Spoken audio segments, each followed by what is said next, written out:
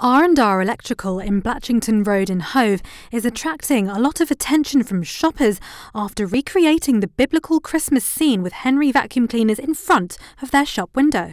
In previous years, the shop had used vacuum cleaners to create a scene of Santa riding his sleigh with a reindeer, but decided to go for something a little different this year. We've decided to do the uh, Henry Nativity window this year, which has uh, caused a lot of interest with our local families and young children. So that's the reason why. We've seen so many young children from the age of two in prams to school kids, uh, and even the older, uh, the elderly people of Hove. Uh, you know, it's just caused a lot of interest, and yeah, it's good for the local community. Did you think you'd get such a reception? No idea. No, I mean we we did more last year, but it's been a much better reception this year. Okay, so it's a biblical scene with uh, uh, Mary and Joseph and the three kings, and obviously baby Jesus wrapped up in his manger. The response has been amazing, as my colleague was saying. Um, it's uh, just amazing to see how many smiles uh, you see through the window of people stopping and children stopping their parents and grandparents and relatives and what have you.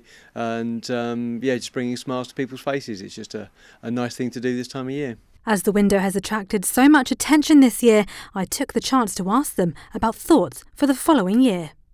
We have started to think with Mark, uh, my my guy here. We have started to think about next year. We have a few plans, and we will start perhaps building perhaps middle of next year. So we'll look out for 2016.